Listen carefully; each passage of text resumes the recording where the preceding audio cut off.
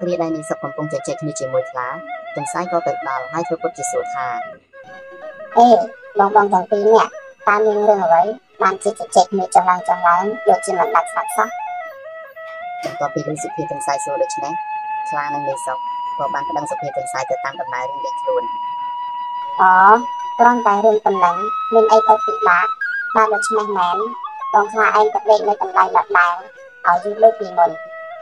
បាទដល់ពេលភ្ញាក់ហើយបងខ្លាឯងមិនស្លាប់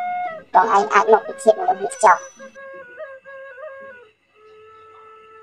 បន្ទាប់មកខ្លានោះក៏ទៅដេកនៅក្នុងរបស់សុភាទន្សាយដេករហូតដល់លក់ស្កប់ស្កល់